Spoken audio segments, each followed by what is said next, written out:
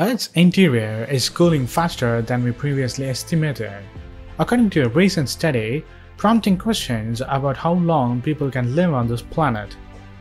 There's no exact timetable on the cooling process, which could eventually turn Earth solid similar to the Mars, but results from the new study published focused on how quickly the core may cool by studying bridgmanite, a heat-conducting mineral commonly found at the boundary between the Earth's core and mantle.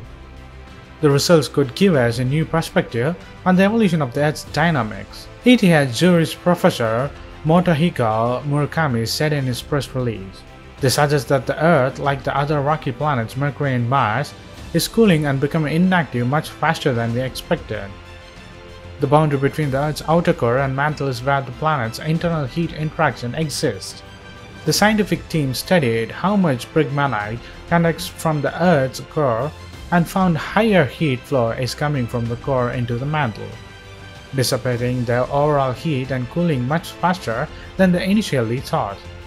This measurement system let us show that the thermal conductivity of bridgmanite is about 1.5 times higher than assumed we still don't know enough about these kinds of events to pin down their timing, says the professor. So what do you think? Do you think the Earth's core cooling faster or it's not sure till further research is required?